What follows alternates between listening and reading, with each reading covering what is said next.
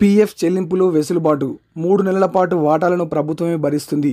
ECR సమర్పణ గడువు పదిహేను వరకు పొడిగింపు. ఉత్తరాంధ్ర పరిధిలో ఉద్యోగులకు ఇరవై మూడు పాయింట్ ఏడు మూడు కోట్ల చెల్లింపులు. ఈపీఎఫ్ఓ విశాఖ ప్రాంతీయ కమిషనర్ ఇందిరా. కరోనా కష్టకాలంలో అటు సంస్థలు ఇటు ఉద్యోగులకు పలు వెసులుబాట్లు కల్పిస్తూ ఊరటనిస్తున్నట్లు ఉద్యోగుల భవిష్య నిధి సంస్థ ఈపీఎఫ్ఓ విశాఖ ప్రాంతీయ కార్యాలయ కమిషనర్ టి ఇందిర వెల్లడించారు.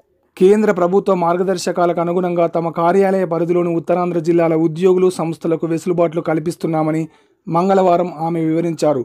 ఆమె చెప్పిన వివరాల ప్రకారం యాజమాన్యాలు చెల్లించాల్సిన పీఎఫ్ వాటాతో సంబంధం లేకుండా ఈసీఎస్ దాఖలు చేయొచ్చు.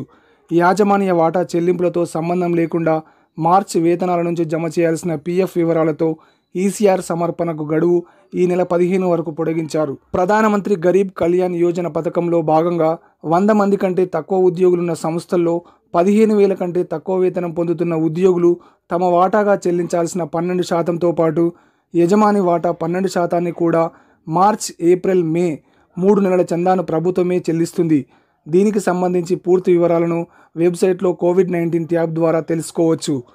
గరీబ్ కళ్యాణ యోజన పథకం కింద విశాఖపట్నం విజయనగరం శ్రీకాకుళం జిల్లాలో అర్హత కలిగిన పదకొండు వందల ఎనభై ఐదు సంస్థలకు చెందిన పద్దెనిమిది వేల తొమ్మిది వందల పదమూడు మంది ఉద్యోగులు ఇప్పటికే మూడు కోట్ల పన్నెండు లక్షల అరవై ఆరు వేల నూట నలభై ఏడు రూపాయలు ఇప్పటికే ప్రయోజనం పొందారు. అర్హత కలిగిన మిగతా సంస్థల యాజమాన్యాలు కూడా వెంటనే ఈసీఆర్ పంపించాలి. ఉద్యోగి ఈపీఎఫ్ వాటాను ప్రభుత్వమే చెల్లిస్తున్నందున వారి జీతాల్లో ఎటువంటి కోత ఉండదు. తిరిగి చెల్లించిన అవసరం లేని కరోనా ప్రత్యేక అడ్వాన్స్ల కింద ఉద్యోగి మూల వేతనం కరువు భత్యం కలిపి మూడు నెలల మొత్తం లేదా ఉద్యోగి ప్రావిడెంట్ ఫండ్ ఖాతాలో ఉన్న మొత్తంలో డెబ్బై ఐదు శాతంలో ఏది తక్కువైతే అది మంజూరు చేస్తారు. విశాఖపట్నం ప్రాంతీయ కార్యాలయం పరిధిలో ఇలా అడ్వాన్స్ల కింద మార్చి ఇరవై ఎనిమిది నుంచి దరఖాస్తు చేసి ఏడు వేల ఎనిమిది వందల ముప్పై తొమ్మిది మందికి ఇరవై మూడు కోట్ల డెబ్బై మూడు లక్షల అరవై ఐదు వేల తొమ్మిది వందల ఎనభై రూపాయలు చెల్లించారు.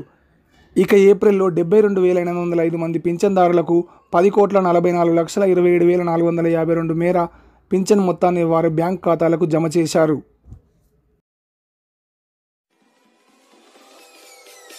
Peace.